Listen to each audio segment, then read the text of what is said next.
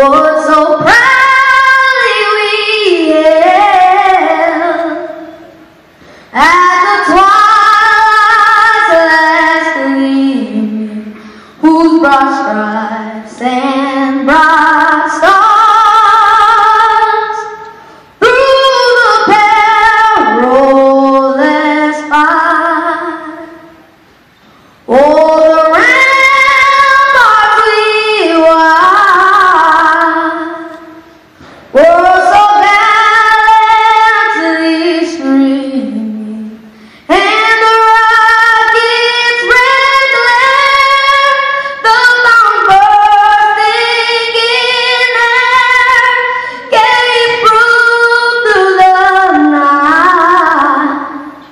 that I.